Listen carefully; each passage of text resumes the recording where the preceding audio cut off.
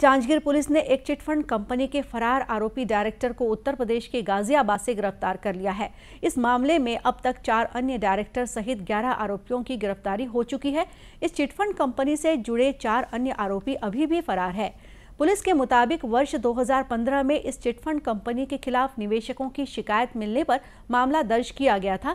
इसके बाद से लगातार पुलिस की टीम कार्रवाई कर रही है।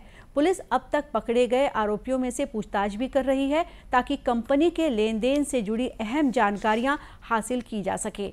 स्थानीय पुलिस अधिकारियों ने बताया कि चिटफंड कंपनी से जुड़े चार अन्य आरोपियों को गिरफ़्तार करने के लिए अलग अलग स्थानों पर पुलिस दल को भेजा गया है।